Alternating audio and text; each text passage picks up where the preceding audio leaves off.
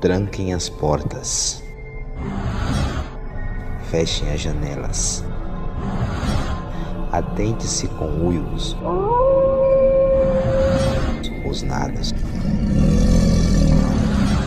grunhidos, respiração ofegante, passos pesados e agito de cachorros.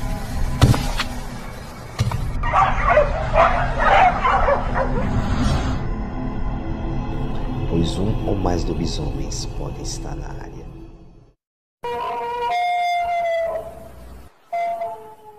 Fascinados por lobisomens.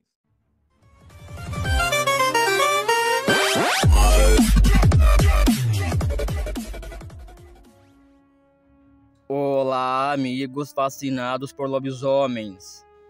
Nada de lenda, nada de ficção uma verdadeira realidade.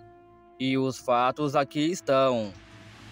E hoje terá uma programação em dose dupla, com o quadro Fascinados Informativo, juntamente com o especial de lua cheia. O primeiro relato é da cidade de Codó, no estado do Maranhão, contado pelo mesmo inscrito dos relatos da cidade de Santa Rita, também no Maranhão, que eu mesmo relatei.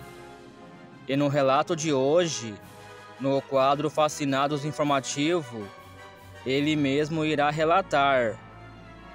O relato ocorreu no ano de 2023, entre os meses de setembro e outubro. Confiram. Todo dia meu pai e meu vizinho, eles sentam aqui, ficam sentados aqui do lado de fora, contando história. Tipo, contando história, né, de lobisomem, de caça, principalmente de caça. Que meu pai e meu vizinho, eles gostam de caçar de noite. De vez em quando eles vão caçar, não é todo dia, mas eles vão caçar. Aí meu vizinho, né, começou a contar a história de lobisomem, né.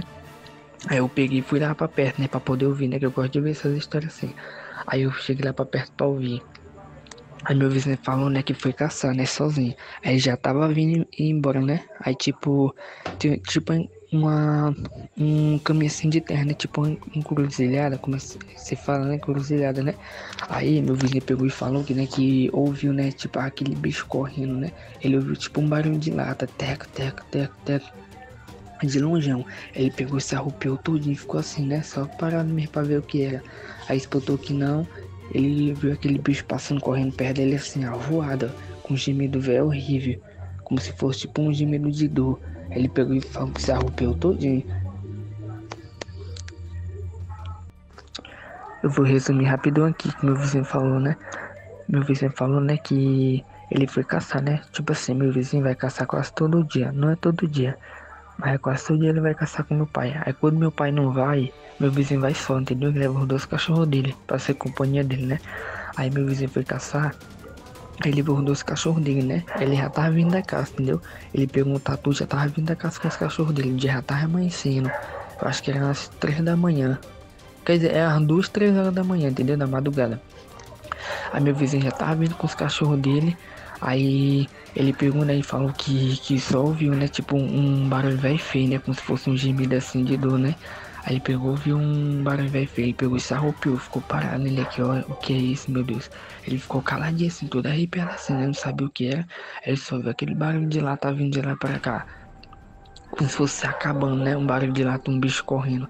Aí disse que o bicho passou, tipo, perto dele. Não perto, né? Tipo assim, um metro. O bicho passou quase lá dele assim, ele se arrupiou todinho. Ele ouviu um barulho velho feito, como se fosse um gemido de dor, de sofrimento, assim, ó. Aí disse que era um bicho.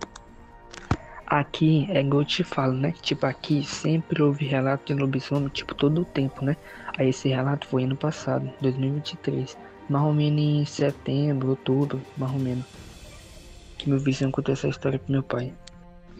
E esse lobisomem né, que meu vizinho viu, ele viu, né, entre aspas, né, tipo assim, ele viu, né, tipo assim, o bicho passou, digamos que do lado dele, né, assim, vinha se acabando, né, um bicho com aquele gemido de dor e tal. Aí o bicho passou do lado dele e esqueci de falar, né, ele disse que ficou fedendo, tipo a carniça, né.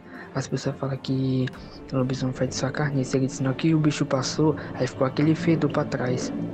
Com relação ao barulho de lata que ele mencionou, também foi mencionado nos relatos de Santa Rita, e eu expliquei sobre o verdadeiro significado. Para quem não viu e poder entender, eu vou deixar no primeiro link na descrição. O segundo relato ocorreu na cidade de Redenção da Serra, no estado de São Paulo, e foi contado por um senhor de 65 anos, que na época do fato ocorrido tinha entre 13 e 14 anos. O relato foi contado para um inscrito e ele me enviou. Confiram. Então, Bruno, eu tenho 65 anos de idade, cara. E na época que aconteceu isso, eu tava com o quê? 14, 13 anos. Eu e meu avô, nós tava indo fazer uma caçada, que ele gostava muito de caçar. E era umas 8, 9 horas da noite. Aí apareceu. Mas o, o lobisomem não é desse jeito que a turma fala esse não. Ele é um cachorro grande, é um ser humano que vira lobisomem, mas ele não ataca. Dificilmente ele ataca uma outra pessoa. Ele é medroso. Aí meu avô tá com a cartucheira na mão, ele deu um tiro, mas não deu um tiro para acertar no, no, no, no, bicho, não. Porque ele sabia que, que era o lobisomem. E, e como naquele tempo ah, podia eh, matar o, o lobisomem, e ser até um irmão, um parente, entendeu? Aí foi assim. O relato é curto e com relação ao que ele disse, que o lobisomem não é como a turma fala, que não ataca e que ele é medroso, com todo respeito ao Senhor. Mas ele disse isso na inocência e por não ter conhecimento pois, como eu já expliquei inúmeras vezes, as formas variam muito e para atacar depende muito do tipo do lobisomem e da índole de cada pessoa que vira. E sobre lobisomem ser medroso, isso jamais. O que acontece quando algum lobisomem foge das pessoas é justamente pelo fato de não ter a intenção de atacar, desde que deixe ele no seu canto, assim como um cachorro, que mesmo que seja o mais manso possível, se alguém mexer com ele e deixá-lo irritado, irá se defender. Na verdade, é assim com todos os animais. E o último relato foi contado pelo pai do inscrito, que na verdade ele ouviu de sua mãe. Quando ela era jovem, trabalhava no engenho de cana e tinha uma mulher que virava lobisomem e ela pulava a porteira por causa dos cachorros. Esse fato ocorreu em uma cidade do Pernambuco. Porém, o nome da cidade, o pai do inscrito não se lembra. E isso é de menos. Bem, amigos, os relatos foram curtos. Espero que vocês tenham gostado. Até o próximo vídeo.